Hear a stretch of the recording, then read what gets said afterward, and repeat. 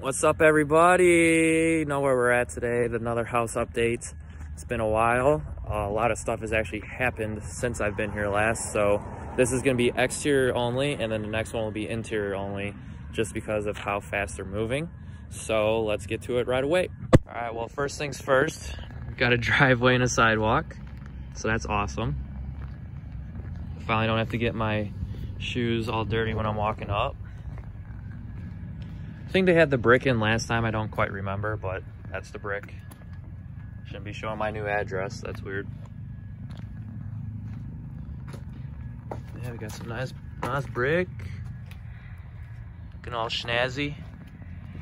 And over here on the side, jump to this. We actually have siding now too. Hey, hey. It's pretty cool. It's a darker siding. I actually kind of picked this out. I really liked it. So, all right, then we head over to the back patio here. I'm just gonna go for it. Got this poured too. It's looking nice. Our covered patio. Got this all enclosed as well. Wow. Yeah, things are moving. This is cool. Taking the souvenir, a leftover piece of siding. All right, guys, so that's gonna do it for the quick little update of the exterior over here. Woo! Um, kind of just came here spontaneously, so I didn't have any of my good camera gear. So next video for the interior, I promise I'll bring that, uh, all my good camera stuff, and get a real cool video for you guys.